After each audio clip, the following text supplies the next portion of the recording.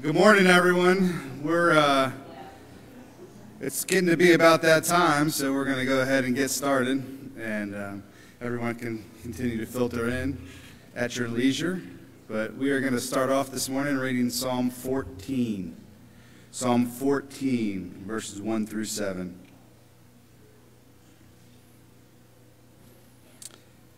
Verse 1 The fool says in his heart, There is no God. They are corrupt, they do abominable deeds. There is none who does good. The Lord looks down from heaven on the children of man to see if there are any who understand, who seek after God. They all, they have all turned aside. Together they have become corrupt. There is none who does good, not even one. Have they no knowledge? All the evil evildoers who eat up my people as they eat bread and do not call upon the Lord. There they are in great terror, for God is with the generation of the righteous.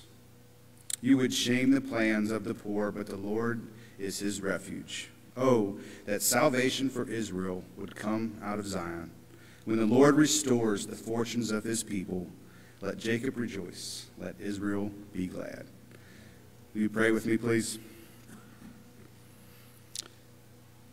Father, this is all about you. Lord, take us out of the equation this morning. Help us to see you for who you really are. Lord, prepare our hearts for, for true, genuine worship this morning. Help us to understand why we're here and what we're doing. And Lord, speak to us this morning. In Jesus' name we pray.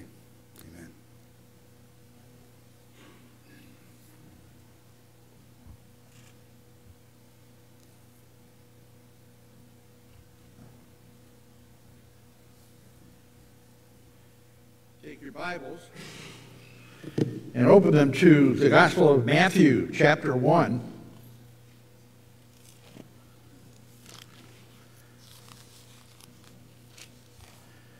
And if you get nothing out of this worship service today, I want you to know that it's not a religion, it's a relationship. Amen? We can start in verse 18 about the announcement of the birth of the Savior. Now, the birth of Jesus Christ is as follows. When his mother, Mary, had been betrothed to Joseph before, they came together, she was found to be with child by the Holy Spirit. And Joseph, her husband, being a righteous man, and not wanting to disgrace her, desired, desi decided to put her away secretly. But when he had considered this, behold, an angel of the Lord appeared to him in a dream saying, Joseph, son of David, do not be afraid to take Mary as your wife. For that which has been conceived in her is of the Holy Spirit. And she will bear a son, and you shall call his name Jesus, for it is he who will save his people from their sins. Now, all this took place that the what was spoken by the Lord through the prophet Isaiah might be fulfilled, saying, Behold, the virgin shall be with child and shall bear a son, and they shall be and they shall call his name Emmanuel, which translated God with us. And Joseph arose from his sleep and did as the angel of the Lord commanded him, and took her as his wife, and kept her a virgin until she gave birth to the son, and they called his name Jesus. May God bless the reading of his word. Father, I thank you so much for all that you've given us. Uh, but especially the greatest gift of all, which is our Savior, Lord Jesus Christ. I pray, Lord, hearts will be opened, minds will be opened, so that you might change and direct each as your Holy Spirit does. We ask that you be glorified above and beyond everything. In Jesus' name I pray. Amen.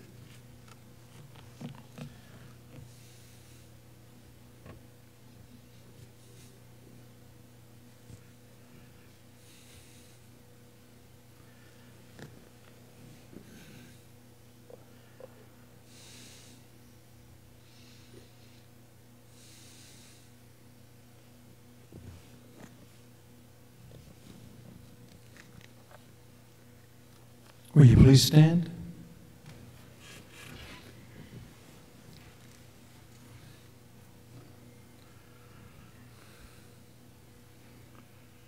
Anticipation grows within us.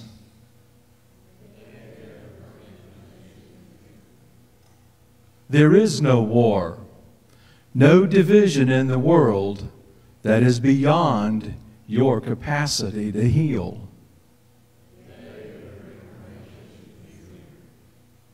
There is no hatred in the cosmos that cannot be transformed by your forgiving love.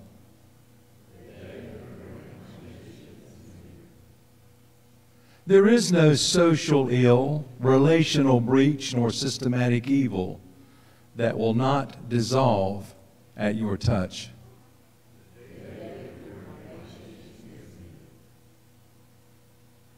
In this third week of Advent, we sing with the prophets.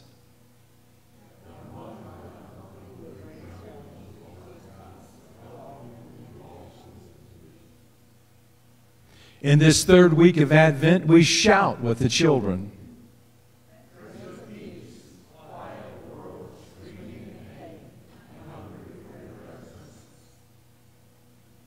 In this third week of Advent, we pray with believers around the world.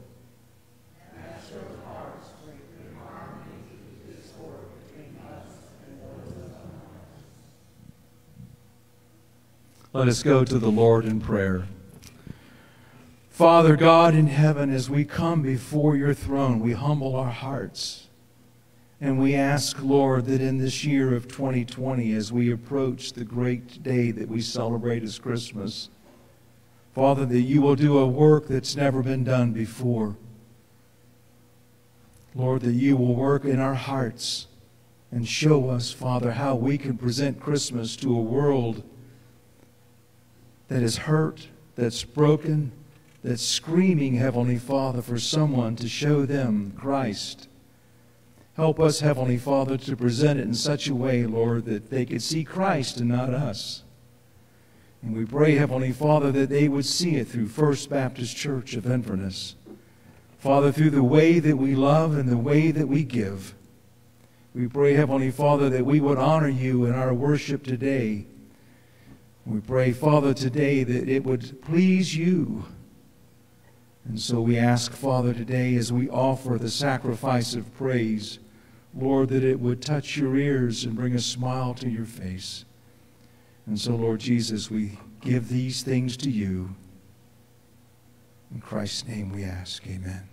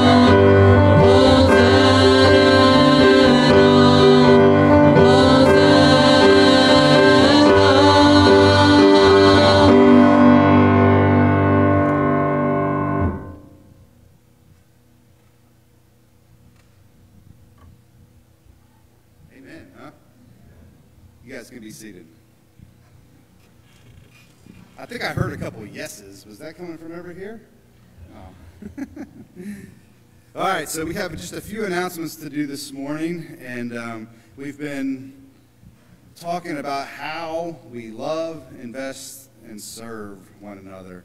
And that's really the heartbeat of, of what, why we do what we do here at First Baptist. And, and that's why we've been um, doing the announcements the way we've been doing because we really just want to explain to everybody why we're doing what we're doing and, um, and why we do announcements is so that everybody can know what God is doing uh, amongst this body of believers. So the first announcement we have this morning is we have Upward Soccer coming up in January. And um, this is not just a, a, children's department thing or, or an outreach thing. This is a, an entire uh, church body community um, thing that we have going on here at First Baptist. We need everyone involved. And by saying that, I mean uh, we need people to be there on Saturday mornings to, um, to, to go around and talk to people and to just to establish relationships with the parents of the kids. There's going to be lots of kids playing in this soccer league that, that don't go to church anywhere. And, um, and, and, not that we're trying to get them to come to church, but we're trying to get them to know Christ. And, and that's the most um, important thing uh, about Upward Soccer is that these kids are going to hear the gospel a lot of times for the first time. And they're going to get to see it over a, long period of time. They're going to get to see it um, uh, lived out in the lives of the coaches and, and hopefully uh, the director, which is me. But uh, and, uh, and, and it's a great opportunity to, to establish some some long term relationships with some kids and their families. So um, if you're interested. Uh, I believe next week after church we're going to have a meeting so you can see what's what, what that entails, what it means to be a volunteer at Upward. Uh, we have all kinds of of positions. You could be a referee, you could be a coach, you could be working at the concession stand, um, you could just be somebody that walks around and talks to parents in, the crowd. So um, if, you, if you're interested in that, stay after church next week and we'll talk more. So, um, another thing that's going on this time of year is the Lottie Moon Christmas offering. Our goal as a church this year is $9,999.99. And I believe Pastor Byron said that he was going to uh, auction off or have a bidding war for that extra penny to put us over the $10,000 mark. So um, you can just uh, dedicate that on your, your slip when you uh, put your, your tithes and offerings in the box. So um, we also need still, still need help passing out lunches on Mondays and Thursdays from 12:15 to 1:15. Um, that is something that I think I'm, I'm 95% sure it's going to continue throughout the rest of the school year. So um, they, they still haven't decided 100% whether that's going to happen or not, but I believe that's, that's the way they're leaning. So if you're interested, and what a great way, guys. This has been the, almost the entire school year that we've been as a church in the schools um, as, a, as a, to be a light to help to fill a need. And um, it's not only filling a need, but it's, it's building relationships with people in the community, uh, maybe that are not, are not a part of our body. So it's just, it's a great way to get involved in our community. Um, we also have food delivery on Mondays, so um, if, if you, you, you, want to be a part of that ministry, please talk to me. Um, if you are a visitor today, um, we would like you to come up front on stage and, no, I'm just kidding. And if you're a visitor, uh, we, we typically have cards in the back of the pews that we, we ask you to fill out just so that we can uh, reach out and say thanks for coming, thanks for joining us this morning. Uh, if you don't want to fill out a card, at least just tell somebody, hey, this is my first time here. This is the first, uh, this is, I'm visiting today, and, uh, and let somebody know so that we can uh, make you feel welcome and, and thank you for coming. So, all right, I think that's it for the announcements today. Oh, one more. The mailboxes are full again, just like normal. So this time of year, the mailboxes get overflowing. And um, I was talking in the earlier service about how to make that a worshipful announcement.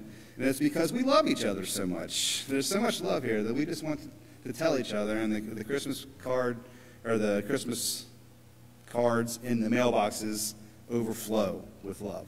So, yeah, clean them out. Um, all right. Are you ready for the question? All right. So we are on week 50. 52 weeks. We're on week 50. So two more weeks. We're almost there. So this is a, a great one this week. Um, the question is what does Christ's resurrection mean for us? The answer is Christ triumphed over sin and death by being physically resurrected, so that all who trust in him are raised to new life in this world and to everlasting life in the world to come. Just as we will one day be resurrected, so this world will one day be restored. But those who do not trust in Christ will be raised to everlasting death. And they get that um, catechism answer from the scripture, and that comes from 1 Thessalonians 4 13 and 14. It says, But we do not want you to be uninformed, brothers, about those who are asleep, that you may not grieve as others do who have no hope. For since we believe that Jesus died and rose again, even so, through Jesus, God will bring with him those who have fallen asleep. Amen. Stand as we sing. It's a. Uh, don't do that to me yet. When we started with Advent this morning, I don't know if y'all felt it, but it's just around the corner. It's just around the corner, and it's not the anticipation of, of stuff. It's for me and the butterflies that I had this morning, which are certainly welcome, is the King is coming, and it's the obligatory December 25th, the day that, that we picked, is the day when we celebrate the birth of our Savior. How amazing and awesome it is to celebrate this time of year for a Savior who came to save somebody as lowly as me.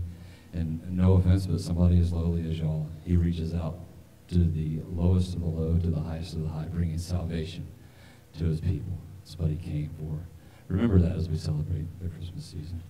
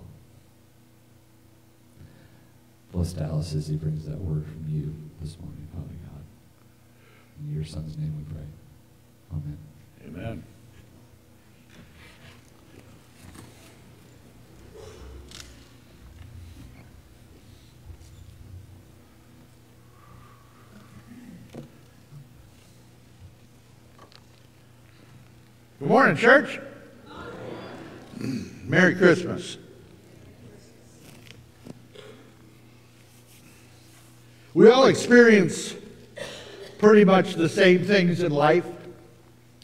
Um, we kind of consider them as a normal part of the life experience.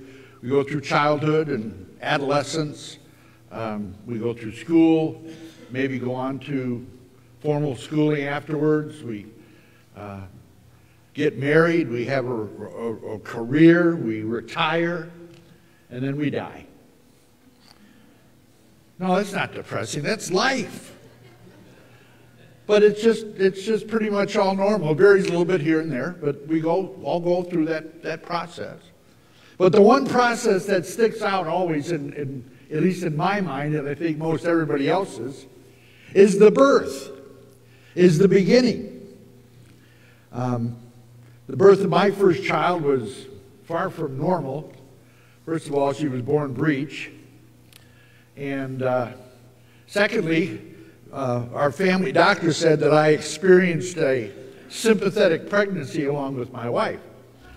I gained 20 pounds, I wore baggy clothes, um, I had mood swings. Um, but when it came time to actually experience the pain, uh, I ignored that. I didn't go that far. But I was in the room and I saw the baby born, and it, it brought tears to my eyes. It, uh, we had to have another one right away. I mean, she, from the beginning, she slept all night. It was just wonderful. So we had another one, and he had colic for five months. Um, so we, we decided to end it, end it, uh, end it there.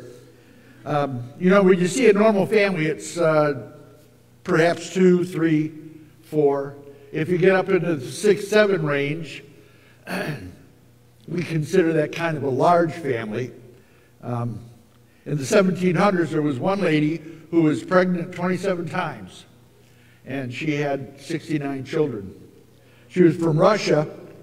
She had 16 pair of twins, seven sets of triplets, and four sets of quads. God bless her. Uh, multiple births have also been common in the past couple of decades. We all remember, um, what was her name? Octomom, uh, the one with eight. Uh, but there was also, the, the, largest one was in 1971, where she had decatuplets. That's 10. And they all lived. Uh, we see most babies born between six and nine pounds. My, my two were a little bit under five pounds. Uh, but the record is 22 pounds for, yeah, I hear a lot of size out there uh, from the women. But also, the tiniest baby ever born to live weighed 8.6 ounces and was nine inches long. She left the hospital at uh, five pounds, and she's. I tried to look her up again because I, I, I, looked this up many years ago, but uh, I couldn't find her. But they said she's still living. Um, unusual births fascinate us too, especially Siamese twins. There was a pair of Siamese twin boys uh, back in the uh, early 1800s and from Yugoslavia in that, in that area. Uh, and of course, they didn't have the technology then to separate them. So they grew up, and when they became older, they joined a traveling show, uh, and it came to America. And they eventually left the show, and they settled in North Carolina. And they married twin sisters. And the one twin had 10 children, and the other twin had 12 children and they all lived in the same house. And uh, today, they said, uh, that there's over 1,500 descendants living in that general area from those, from those two. Um, the youngest mother ever to give birth was five years and five and three quarter years old. And the oldest mother ever to give birth, they say, was 69 years old. But we know that's false. The oldest mother ever to give birth was 90. Her name was Sarah, and her husband was 100. You can imagine what he thought when Isaac said, Hey, Dad, let's race. oh, truly, the birth of a child is a miracle. We all say it is. And if you've witnessed one or two, like I have, uh, you know it is. The virgin birth of our Savior is so important to our faith because if there's any way possible it could be refuted, it would tear the whole system down. We might as well lock the doors. Um, but it deals not just with the miracle of the birth, but specifically the condition that has existed since the beginning of creation. And that condition is sin. And that is what the birth of the Savior is all about. And we can't forget that. As much as, you know, I, I love Christmas. I've always loved Christmas. My business up north, I had for 15 years. Um, it was a cabinet woodworking business. I used to put out roughly 10 to 15,000 lights around the building. I had a nice Amish, Amish uh, cart with a um, statue horse in front of it, and I used to do the lights on the wheels so it looked like they were turning. It I had so much fun doing that. But it's so much more than that. The day of Christmas should be not just a happy and glorious day, not just a day of opening the presents and giving gifts, but a remembrance of what it's all about. Because Christmas without Golgotha, without Calvary, is nothing has no meaning. It's just a, it's just a jingle bell day. We need to keep and remember that. And I want to get into that for a little bit. So I want to get out of the Old Testament and I want to go back to the New Testament. I want to go back to uh, the Psalms, Psalm 51 to be exact. I'm sure you're familiar with it. King David had committed adultery and if that wasn't enough, then he committed murder. And if that wasn't enough, then he committed hypocrisy. And one day, uh, the prophet Nathan came and he pointed his bony finger at David and said, You're the man. You're the one. And David at that point fell on his face and confessed and dealt with his sin. Psalm 51, I'll read verses 2 through uh, 6. In the New Living Translation, Wash me clean from my guilt, purify me from my sin, for I recognize my rebellion. It haunts me day and night. Against you and you alone have I sinned. I have done what is evil in your sight, and you will be proved right in what you say, and your judgment against me is just. For I was born a sinner Yes, from the moment of my mother conceived me. But you desire honesty from the womb, teaching me wisdom even there. Now, verse 5 could be read as if the act was sinful. But if you were to look at the Amplified Bible, it would say, Behold, I was brought forth in a state of iniquity. My mother was sinful who conceived me, and I too now am sinful. In order to understand the reasoning for the virgin birth, we need to look at the sinful state of mankind. And I, I tried to under, I tried to come up with some type of an illustration uh, to help you understand this. And actually, I came up with uh, an illustration from my own background. Um, my mother and my stepfather, when they got married, they had a son, uh, my half brother. His name is Michael John. And my, my mom and my stepfather and myself, we all have a gene called PKU. It's a word that's about 15 letters long, and it, it the word is uh, phenylketonuria. And what it does is that gene attacks the enzyme that is supposed to distribute uh, the protein throughout the body. And it kills it. And what it did for my half brother was he was basically high on protein for the first three years of his life.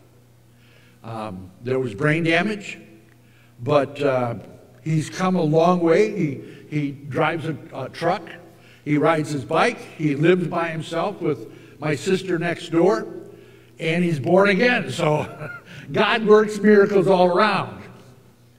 But uh, it's rare. There's 87 million people born each year around the world. Well, that was six, seven years ago. I imagine that's a lot more. But there's only 20,000 cases a year of this. And the key is the mother and the father both have to have that PKU gene in order for the son or the daughter to have it attack them. Now, Michael John, he was one of the first. In fact, after his um, diagnosis, it is now a law throughout the land that every baby who is born has to be tested for PKU because they can correct it right there and there'll be no problems. But if only one, like I, if I had, I do have the PKU gene, but if my spouse does not, there's no problem. There'll never be a problem. That's the same issue with sin. The only problem is nobody in the history of the world has ever not had the sin gene. Everybody does. If you could look at the biology of a child being conceived in the womb, you would see your sinfulness be handed down to your newborn. Anybody here ever had to teach their children the word mine, mine? Did you ever have to teach your child to take his sibling's toy?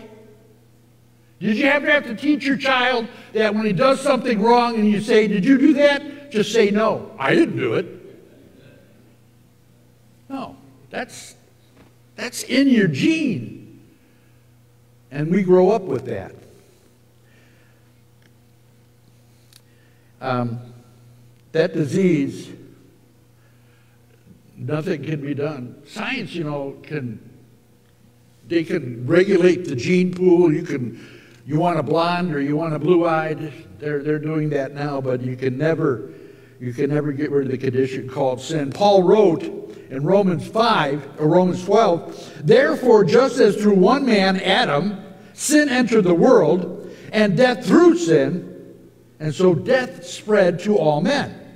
We are sinners by choice, we are sinners by nature, and we are sinners by birth. Psalm 58, um, few verses down from uh, um, David, uh, David's confession, he said, The wicked are estranged from the womb. These who speak lies go astray from the birth, from birth, from the womb. That's not what I thought when I was holding my baby girl. I was holding my baby girl and I was I saw the innocence, the brand the brand newness of this life. Just hours before it, was born. In fact, that thought um, I, I became determined that she was not going to turn out like me and what I'd experienced. And because of that determination, it led me to accept Christ as my Savior eventually. But I, I can't deny, I can't deny that she's a sinner.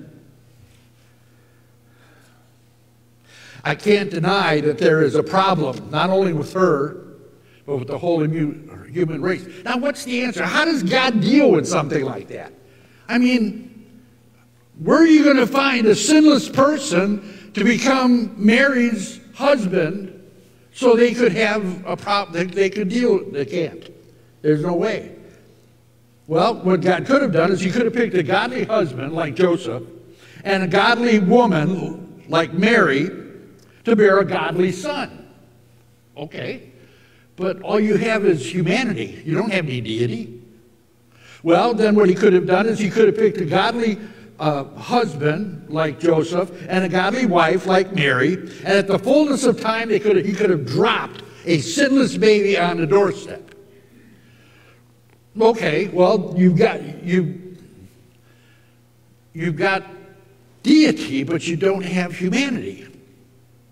Well, what he could have done is he could have gotten a godly father like Joseph, godly wife like Mary, and at the proper time inserted the spirit of Jesus into that boy. Well, you'd have deity and you'd have humanity, but it would be normal. You'd have two beings living in one body. So how does how does it happen? God had to insert something that did not have the sin gene. And that could only be God Himself.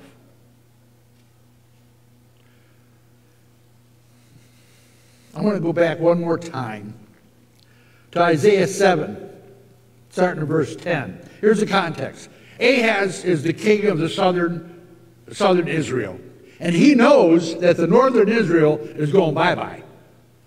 Babylon's coming for him, and he's not far behind.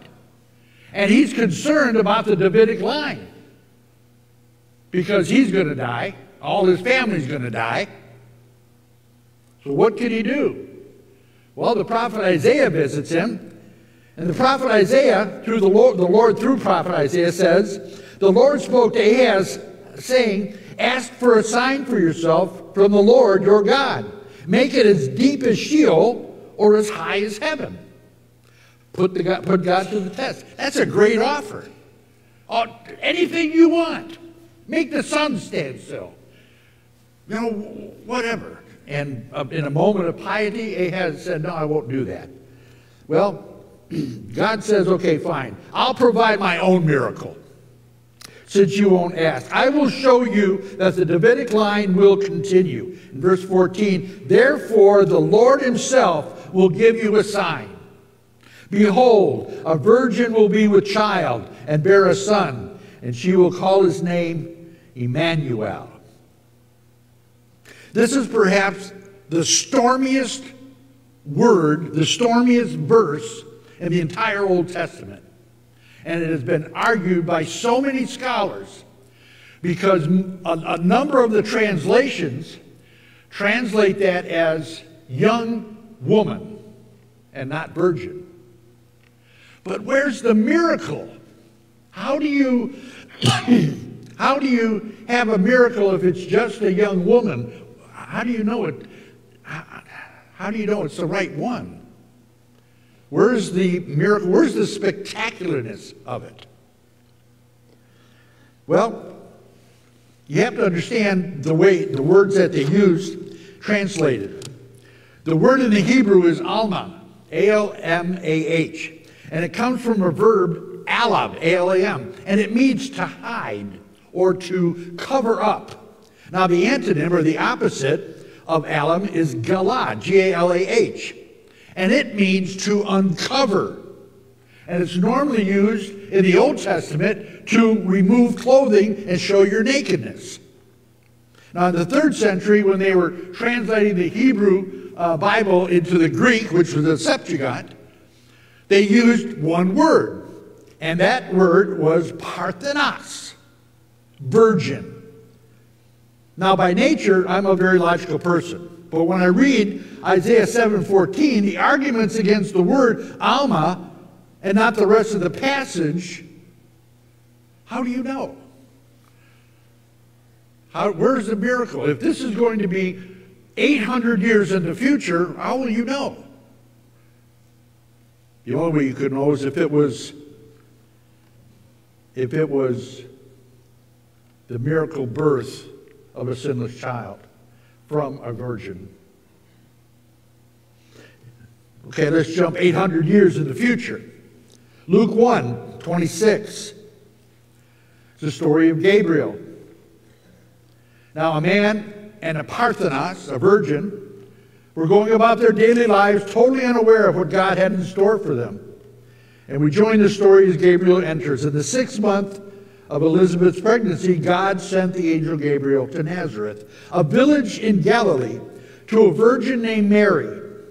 She was engaged to be, or betrothed to be married to a man named Joseph, a descendant of King David. Gabriel appeared to her and said, Greetings, favored woman, the Lord is with you. Now, that doesn't mean she's sinless, okay? But God's hand was upon her for a very special purpose. Now, just imagine, just for, just for a moment, a 15 or 16 year old girl, the plans that she had. She's betrothed to this wonderful man, Joseph. He's got his own business, he's a carpenter. She's thinking about all of the, she's got a wedding coming up. She is, um, I'm sure, thinking about the house they're going to live in, what they're going to do, the adventures, the children, all the happiness. And all of a sudden, on that one day, that book of Mary goes like this. And God goes like this with a brand new book. And Mary just says, Be it as you want, Lord. I'm yours. Wow. That's, that's almost incomprehensible.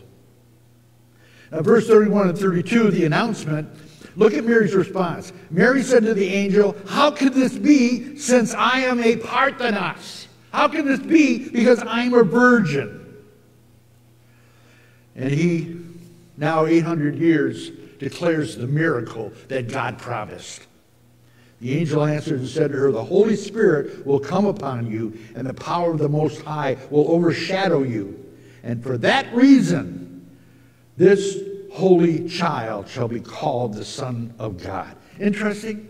He will not become the Son of God, he will be called the Son of God. There's two words that are really important in this passage. The first one is holy.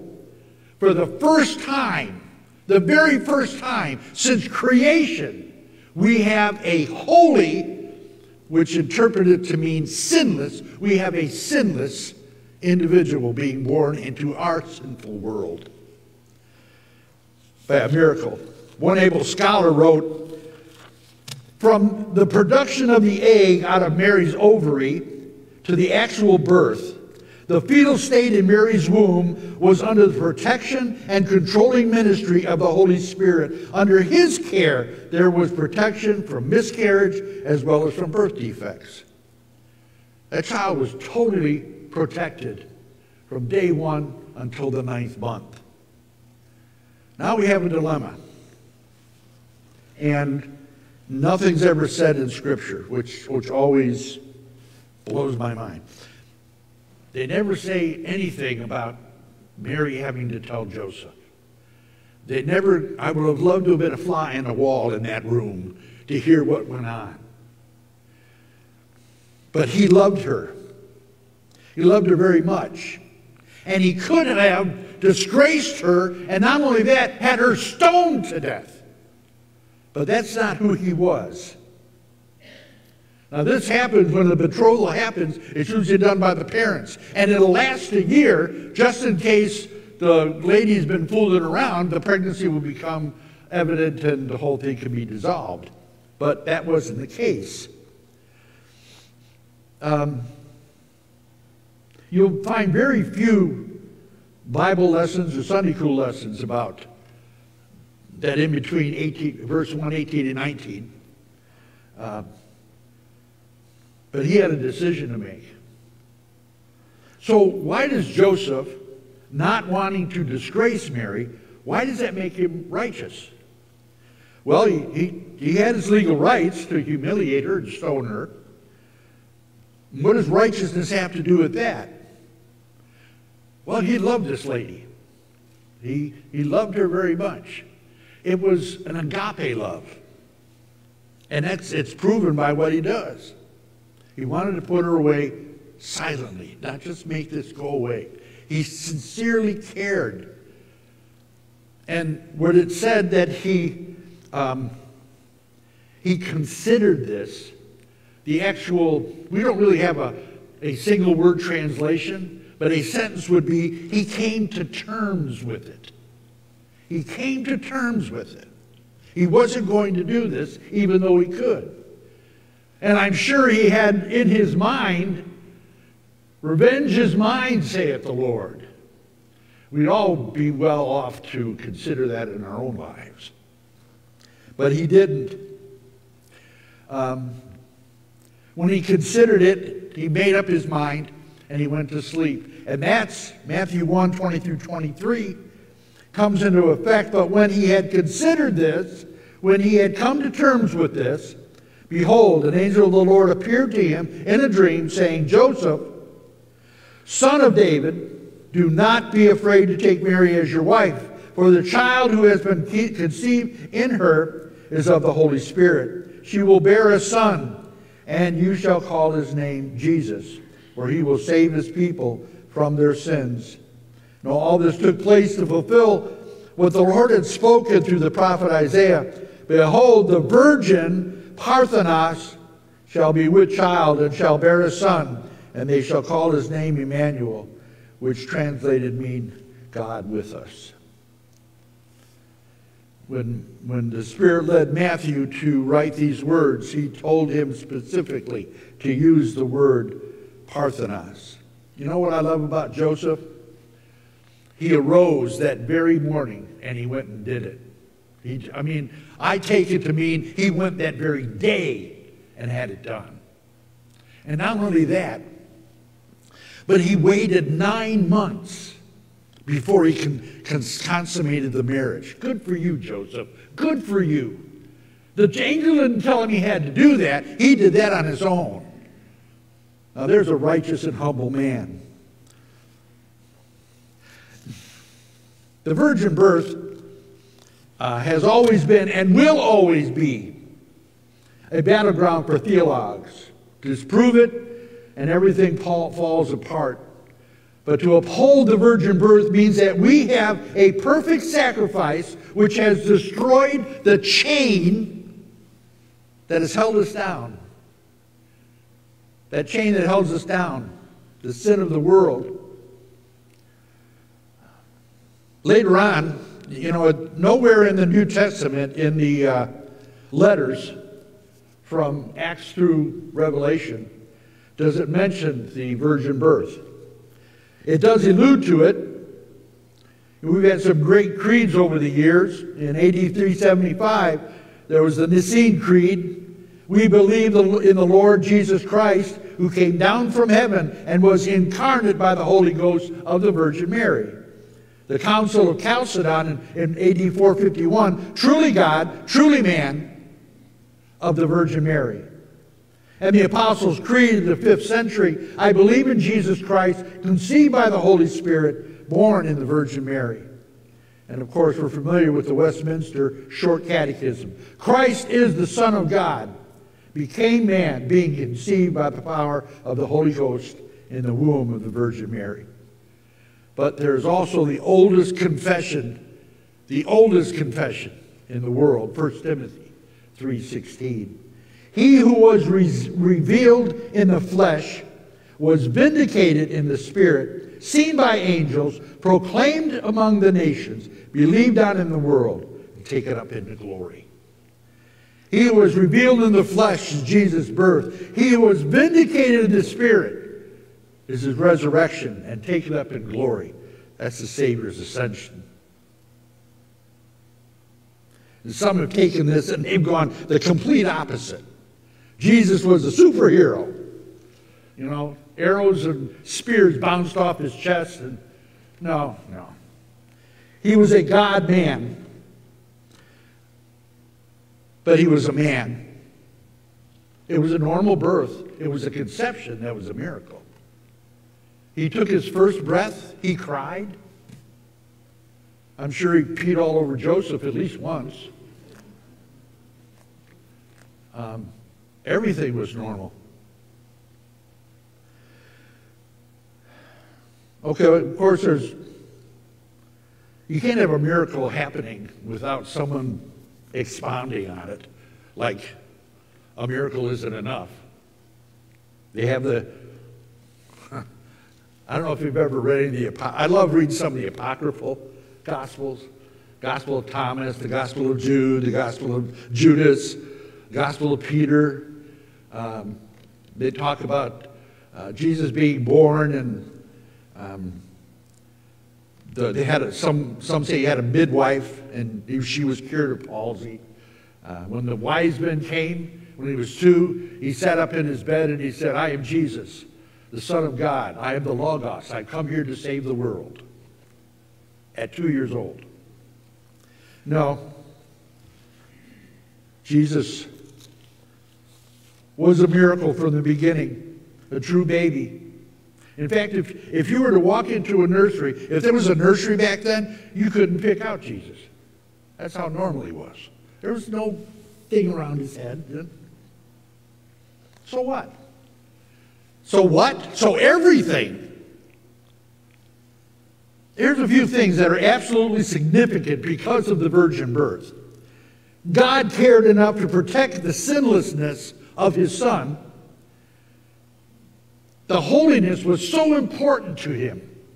Holiness is not something that we hear a lot about. We hear a lot about tolerance. We need to tolerate things. We need to, we, we need to um, be understanding about people of other faith and no. The church has become way too tolerant. You don't hear enough, in fact, you hear very seldom, even in Christian churches, the words, Be holy, even as I am holy. That's what God said. He didn't say, Be good, do your best. He said, Be holy as I am holy. Be like me. Impossible? Yes. But not on a day to day basis. Since deity became humanity, Christ knows what we go through. He understands everything we experience. You will never see Jesus sitting on the edge of heaven looking down at the problem you're going through and saying, I can't imagine what that's all about. He can because he knows. And he is an empath. He, if he, he has put his arms around me so many times in my life. He's also done one of these to me, too. But that's who he is. I'm not a huge fan of poetry, but I come across a short one from Frank Graeff that I wanted to share as I close. Does Jesus care when my heart is pained too deep for myth or song? As the burdens press and the cares distress, and the days grow weary and long, does Jesus care when my way is dark with nameless dread and fear? As the daylight fades into deep night shades, does he care enough to be here? Does Jesus care when I have tried and failed to resist some temptation strong? When my deep grief I find no relief, though my tears flow all night long? Does Jesus care when I've said goodbye to the dearest one of mine and my sad heart aches till it nearly breaks? Is it aught to him? Does he see? Does he mind? Ah, yes, he cares. I know he cares. His heart is touched with my grief. When the day is weary and the long night dreary, I know my Savior cares. We're in a season, a wonderful season. And as we talk to friends and relatives and it, it'll always come up. What would you like for Christmas? What, what would you like for Christmas? I want to encourage you today, and I'd be I think I would be correct in saying there's probably very few in this church right now. Whoever in their quiet time had a knee on the floor and said, Lord, what would you like for Christmas? What would you like?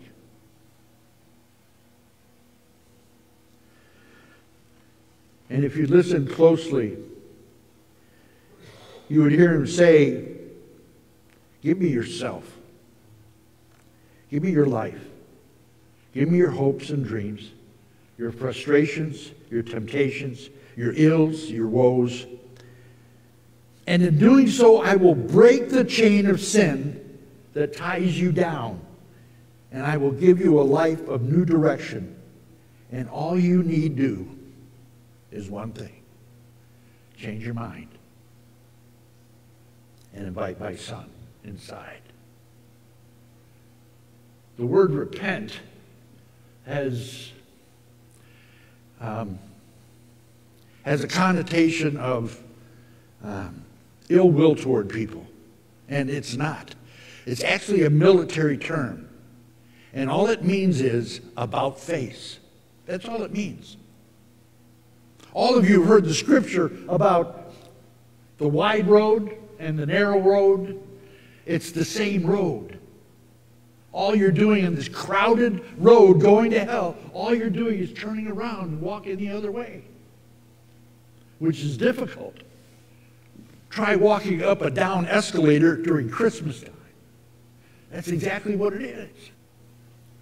But you want to see how easy it is? You want to know how easy it is? This is how easy it is.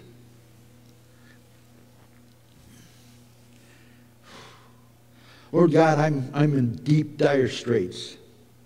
I have a lot of problems in my life. I've done a lot of bad things and I've done some good things, but I have no direction. I need direction in my life. And I saw in your word, it said, Behold, I stand at the door and knock. And if anyone hears my voice and opens the door, I will come into him and I will live with him. And Lord Jesus, I'm praying right now that you will come into my life and change it for your good and for your glory. In Jesus' name, amen. That's it. That's all it takes. Anywhere, anytime. As the musicians come forward, I want to give you an opportunity. Let's all stand. And we'll do it right here. Everybody with your head bowed, eyes closed, we'll all do it right here with a heart of thanksgiving, with a heart of rejoicing at a time that we're going through this Christmas season. Right now, just simply from your heart. Lord, what do you want from, for Christmas? What can I get you for Christmas this year? A little tiny thing? Something that will last for a long, long time? If you pray that prayer to your Savior, He will show you, He will tell you. And then you need to look for it and find it.